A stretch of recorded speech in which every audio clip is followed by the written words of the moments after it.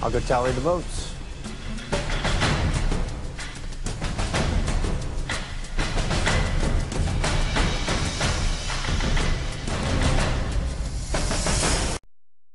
Once the votes are read, the decision is final. Person voted out will be asked to leave the tribal council area immediately.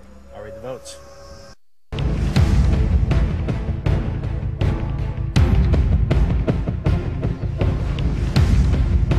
The tribe has spoken. Time for you to go.